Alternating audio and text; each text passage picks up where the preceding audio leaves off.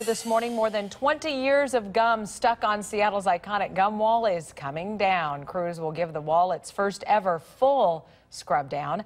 KIRO 7's David Ham is live near Pike Place Market. And David, the gross out factor isn't the problem out there.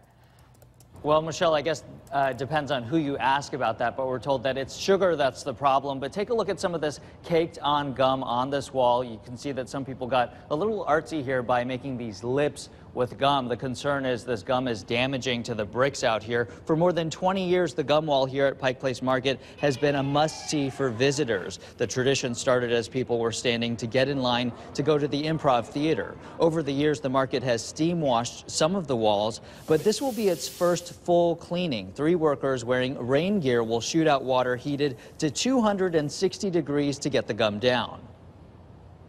It's actually really disgusting. I just thought it was one wall.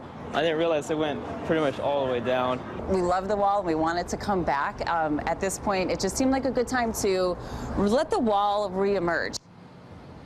It's estimated there are more than a million pieces of gum on these walls, and to figure out exactly how much gum is out here, all of the gum will be weighed after being sprayed down. And after the scrub down at 8.30 this morning, we're told that people will be allowed to stick gum back on these walls uh, as early as Thursday or Friday.